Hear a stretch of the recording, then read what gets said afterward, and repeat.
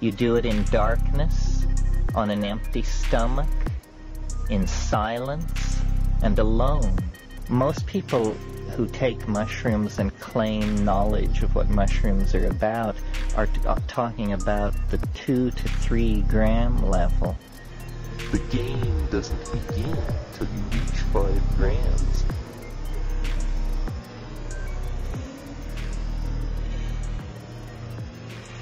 Hello, everyone. My name is James Jesso from Adventures Through the Mind, and I'm here to talk to you today about dosing psilocybin mushrooms and the five dried grams in silent darkness that has been proposed by Terence McKenna.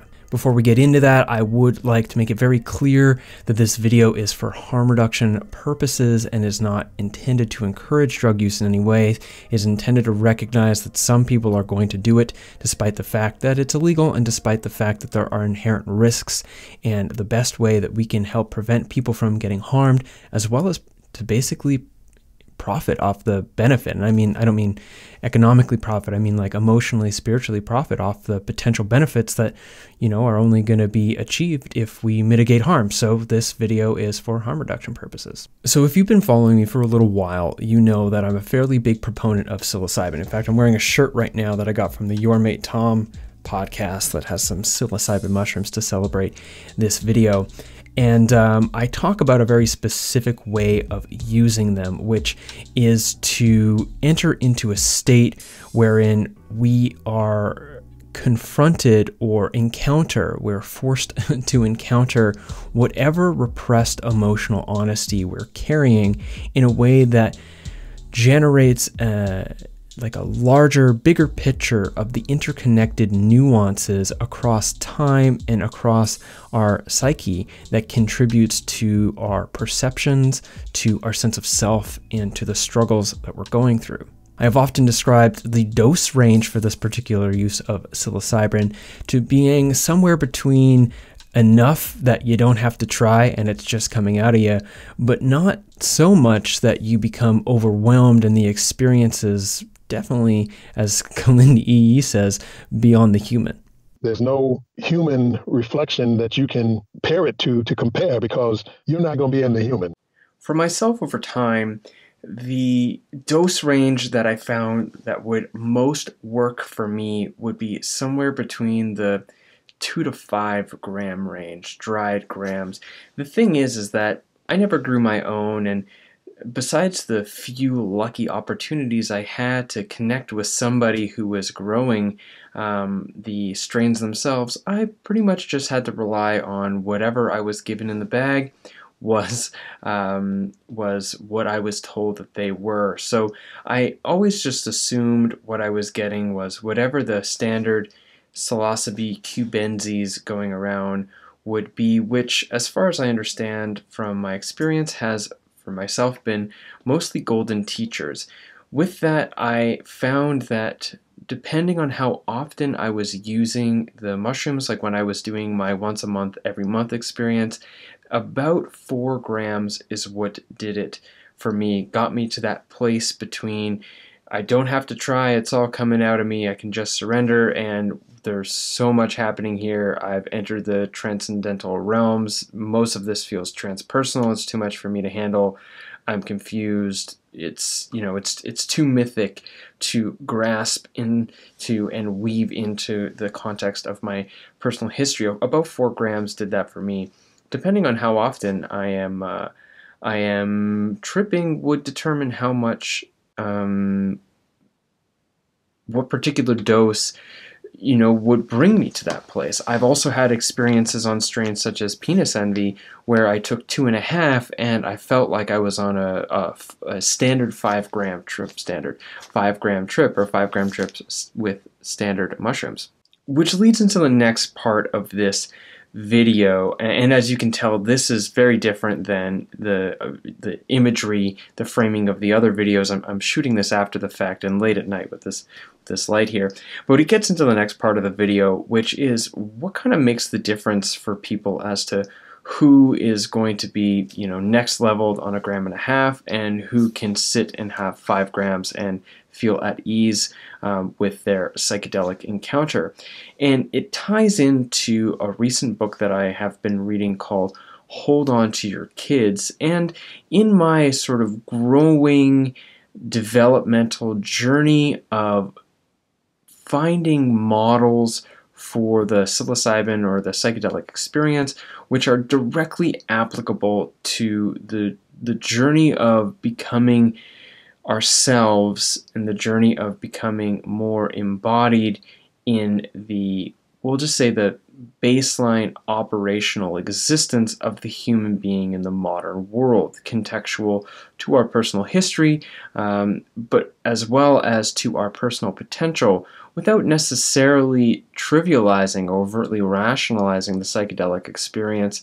Um, so as to lose its sort of mystical or, or mythic sensations, but to still have some level of magic contained to it without the magic sort of running off running off with itself and becoming so overt that it completely detaches you from your own the, the potentials of what the psilocybin experience can offer ourselves and to each other um, by you know just turning it into one big play of metaphysical abstraction and conjecture that has no actual place in the everyday human life. Now, there's a place for that stuff in poetry and philosophy and and um, and in metaphysics, although that's not really my personal goal set. My personal goal set is about tying it into personal history, and I do so by holding my psilocybin and psychedelic experiences up within the filters of the various ideas and psychological concepts that I explore in my wider variety of writing,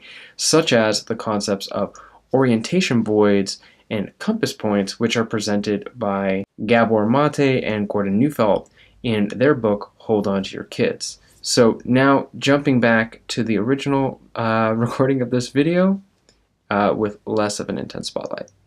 Also, one of the other things that I do is I read fairly broadly across um, different psychological texts and spiritual texts, and I'm always paying attention for different ways of understanding and uh, different ways of comprehending the psilocybin experience and different metaphors or references that I can use to help make the understanding more accessible, help it you know feel more clear help it like i said in the beginning harm reduction but also you know benefit optimization. Recently, I've been reading a book called Hold On to Your Kids. The basic premise of this book looks at attachment theory and how behavioral problems in children are usually emergent from a problem in the context of relationship between the parents and the children mainly that the children are no longer uh, healthily attached to their parents and oriented towards their parents as the beings of guidance and structure and support in this world, but instead become peer oriented,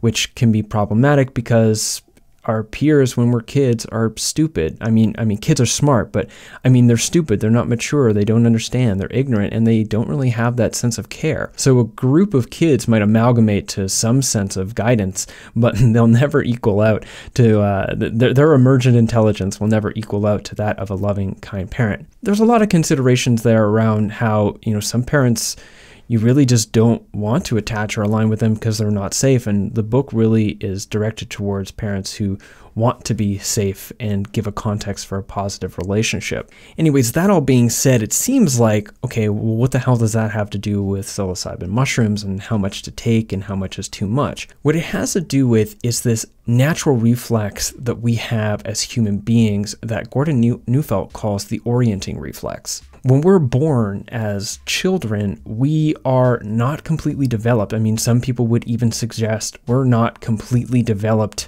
until we are about the age of 25.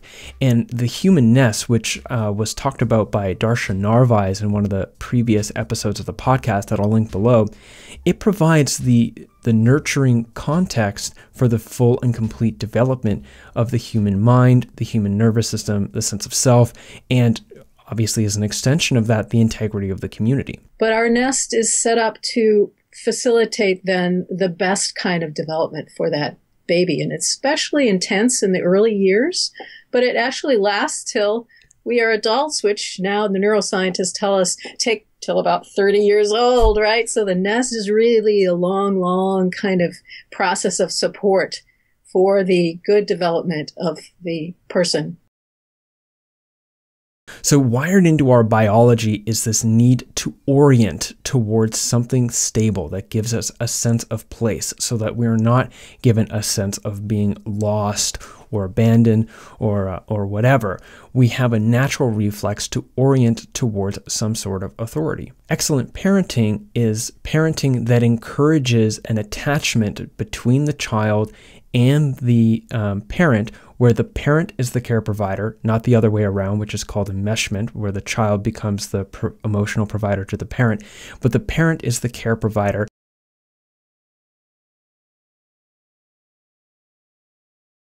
And the role of the parent is to educate and um, guide the child into maturing into an autonomous, self regulating um, being that is both able to participate in the social ethics, morals, and responsibilities of the larger society, um, as well as being able to be, when needed, a self, like I said, self-responsible but a divergent, creative, independent being. The thing that we orient to is called a compass point, and so the parents become the compass point. Now, the problems that are suggested in this book, Hold On to Your Kids, say that when peers come to compass point, then kids can basically get into some problematic behavior. This is too much to unpack here, and I'm not finished reading the book, so I can't really say, anyways.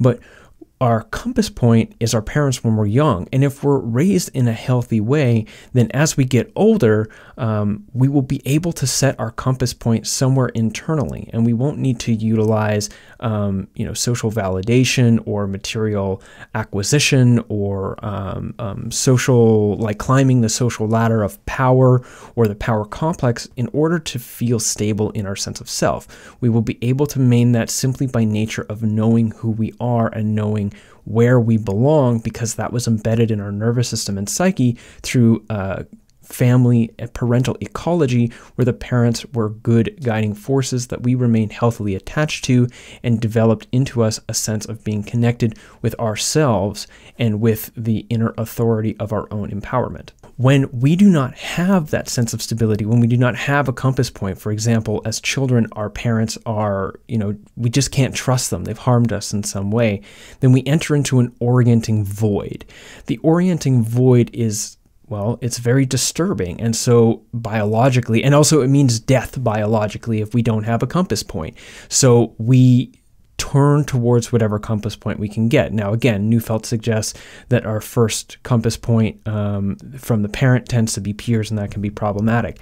So, again, what does this have to do with psilocybin mushrooms? Well, I think something that's interesting is the parental context in which we were raised and how our parents raised us to view ourselves and understand and relate to ourselves as a proxy to how they related to us and how we related to them becomes the template by which we relate to our perception uh, and experience and interpretations of our sense of self and reality later. This perception and sense of self is basically contained in the stability of our waking state. And when we disturb that waking state, we disturb our um, sense of orientation to that inner compass point that is our, you know, we'll just say confident sense of self the loss of compass point or this orienting voids might emerge from, you know, incredible circumstances that happen throughout the course of our lives, maybe um, a, a, great loss or a death or an accident or, or, whatever, but we, we lose our sense of, of orientation and it becomes very, very disturbing.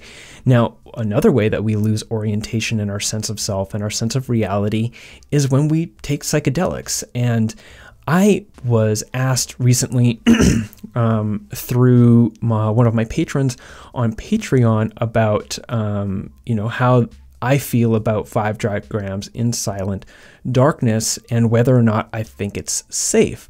I was also recently asked um, by somebody in my community who is interested in trying mushrooms uh, for the first time, and they wanted to know how much I thought would be a safe amount for them to start with. And having read this book, and like I said before, always, um, you know, looking for different ways to language these ideas and, and better understand it, I thought about how when we take psilocybin mushrooms, we enter this orienting void. And the amount that we could take in order to maintain a sense of um, capacity to not freak out would be determined by our capacity to maintain a compass point to our sense of self or to something else like our breath to maintain our capacity to navigate an orienting void without freaking out. So, if we have a fairly low capacity to navigate an orienting void without entering into anxiety, well, then less is definitely more when dosing psilocybin. But if we have a higher capacity to maintaining a sense of stability, even in the midst of the orienting void, which is the slipping, loss, dissolving, uh, you know, interlocking, interdelocking sense of self that tends to happen when tripping psilocybin mushrooms, if, if we have a capacity to be with that and not feel um, disoriented, we can connect with something that is grounded like our breath or like just a maybe even a trust in a higher force or a trust in the mushroom intelligence or whatever it might be then we can likely handle more mushrooms. We could likely handle a higher dose and not freak out. And I think this is something that we can work up to. It's a skill set that, um, like lifting weights, we can start small and we can um, then later sort of build up our strength to trip higher doses and not become, uh, not freak out due to the orienting void, the chaos that it brings. So, how does this all relate again to five dried grams and silent darkness? Is it safe? Is it not safe? Well, I actually think that five dried grams and silent darkness is both irresponsible and dangerous and beautifully transformative and potentially quite positive.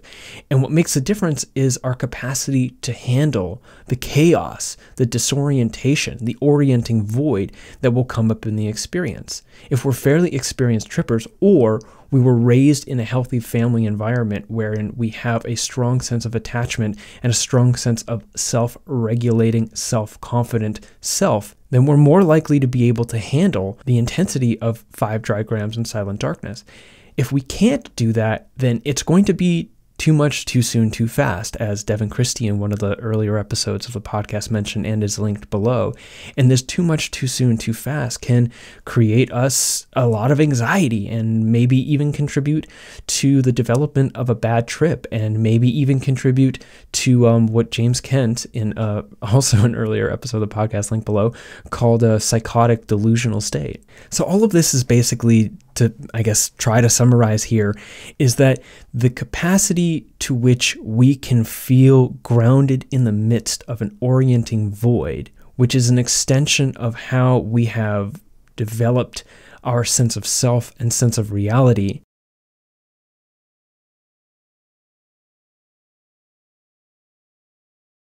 Will determine our capacity to experience higher and higher doses of psilocybin and it not be um, and it not contribute to anxiety and ultimately damage the person. If you're watching this and you don't have a lot of experience with psychedelics, or you find yourself um, easily anxious or easily disturbed or easily sort of cast adrift in an orienting void when things don't go um, exactly how you planned it, you might want to start with a lower dose and um, probably around other people that you could trust that could be a secure compass point for your experience, such as a guide or a psychedelic therapist who works like a compass point to allow us to surrender into a chaos that would otherwise be too great for us to trust in ourselves to go it alone. If you've got lots of experience tripping psychedelics and you feel fairly confident uh, that you can handle it, well, then five dried grams in silent darkness might be one of the most it might be a marking point, a checkpoint, a whole a chapter, you know, a, ch- a, positive chapter in your life. It might be one of the most important and meaningful things that you ever do. But knowing and being able to determine the difference will make the difference between whether or not you're harmed by it or positively helped by it.